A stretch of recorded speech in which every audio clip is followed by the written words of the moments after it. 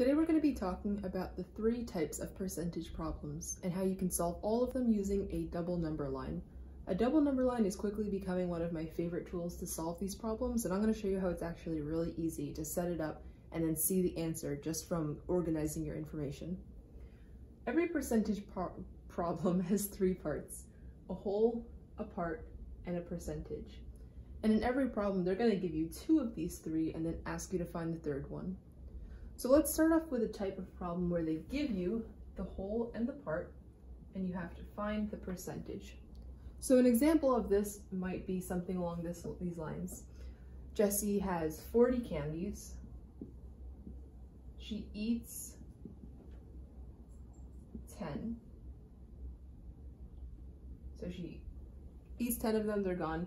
And then the question might ask, what percentage of the candy has Jessie eaten? So you're gonna set up your double number line like this.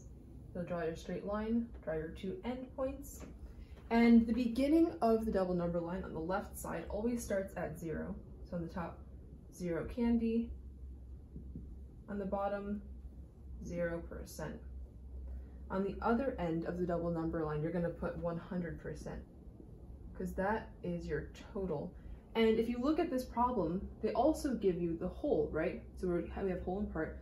The whole here is 40 candies. So we also know that at this end of the number line, we're gonna have 40 candies. Now what do we do with this piece of information that she ate 10 of them?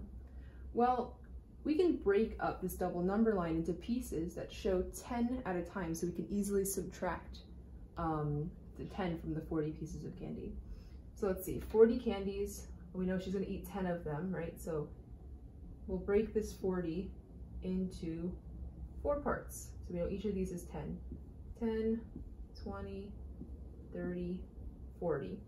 Now, if she's eaten 10, we're not gonna use this 10 over here. We're going to go back from 40. She's eaten 10. Now she's at 30 candies. Well, how many has she eaten in percent, right? We want to know what percentage of the candy has she eaten. Now from 100 to this point here, do we just subtract 10? Well, no, right? Because there are four markers and they add up to 100 on the bottom. On the top, the four markers add up to 40. On the bottom, they add up to 100. Now what's 100 divided by 4? 25. So we put 25%, 50%, 75%. So you see now the bottom is broken up evenly into four pieces just as the top is broken up into four pieces. And we also can see that from 100 to 75, that is minus 25%. So we know that this 10 candies is 25% of all her candy. So that's one where we have a whole and a part and we define the percentage. Now let's do one where we are given the whole and the percentage and we have to find the part. So let me erase this down here. Okay, here is another problem. There are 60 robins. Code robins, I like those birds. There are 60 robins and 5% of them are baby robins. And then the question would ask, how many baby robins are there? And that's the part. So we have the whole, we have a percentage, and we have to find the part. So again, we just set up our double number line. Remember in the percentage side, we have 0%, to 100%. Now, do we know what our 100% is here? Yes, we know what our whole is, and the whole is always equal to 100%. That is 60 robins. Robins. And then, do we know our percent? Yes, we have our percentage here. 5% of them are baby robins. So let's just put that down, right? We're gonna estimate. 5% is like very low of a percent. We're gonna put it very far near the left.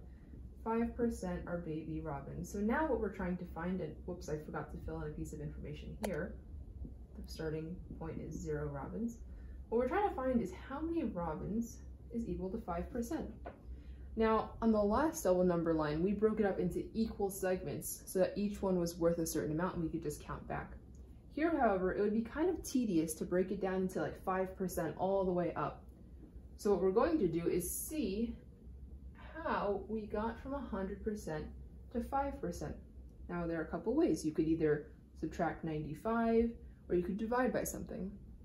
If you subtract by 95 from 100 to get to 5, that's going to make it a little tricky because you're not really sure what number corresponds with that 95% to get from 60 to whatever this missing number is here. So let's do division because division, we can do the same number on both top and bottom. Multiplication and division work like that. If you have a double number line, you can do the same number, multiplying or dividing, on both top and bottom, and it will bring you to the same point. So 100 divided by what is 5? 100 divided by 20. So let's do that same operation here. 60 divided by 20 is 3. So we've got, there are three baby robins. Nice. Okay, so that's how we do the whole and percentage find the part type of problem. We fill in all of our information on the double number line, and then we can use an operation, either multiplication or division, to get from 100 to wherever the percentage was, and then do that same operation to get from the whole to whatever the part was. The 100% always corresponds to the whole, right? And then the percent corresponds with the part that you're trying to find. All right, last type of problem. Now we're going to be given a part and a percentage, and we will be asked to find the whole. So we have these two, we want to find that one. All right, let me think of another. Okay, here's another question, and I'm going to just set up my double number line right off the bat so I can write out the information as I'm explaining it. All right, there are 15, and here's a part I'm giving you, so I'm to just mark it. There are 15 girls on the soccer team. This represents 20% of the total amount of players on the soccer team. How many players are there all together on the soccer team? Okay, we have a part, 15 girls in the soccer team. And there's more people than just 15. This is just a part of it. So I guess the remainder are, you know, boys. And then on the bottom here, I'm representing that this is only 20% of the entire soccer team. Okay, now this looks pretty sparse, but what other information can we fill in? Well, we know that, you know, this is the zero people. I'm gonna just put PPL for people. This is also 0%. And then we also know that over here we've got 100%. Okay, our goal is that whole over there. What is this whole? That's what we're trying to find. Now, you see there's a link between the percent on the bottom. And remember, if we want to get from 20% to 100%, it's better if we do multiplication or division because that way we can multiply or divide by the same number on the top of the number line. So let's see, how do we get from 20, which corresponds with 15, to 100, which corresponds with our missing number? 20 times 5 would equal 100, and so we could do that same operation on top, times 5. 15 times 5 is 75. So we know that there are 75 people on the soccer team. It's a very large soccer team. Don't think I thought about that before I made this problem.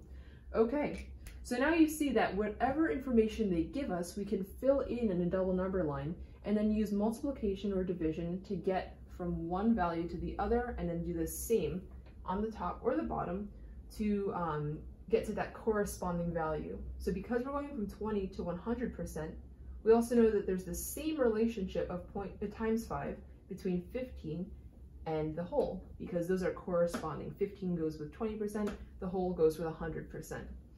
The first method we did um, was to break up the number line into equal pieces and then label all of those. That is a perfectly fine method as well. But for when you're working with bigger numbers that you don't necessarily want to have to divide into tiny little pieces, like a you know you want, don't want to go like 100 into 5% at a time that would be like 20 different markers and that's a lot it's really easy just to multiply or divide to get from one point to the other on a double number line. So i hope that helps you and if you have any questions as always you can email me or just ask me in class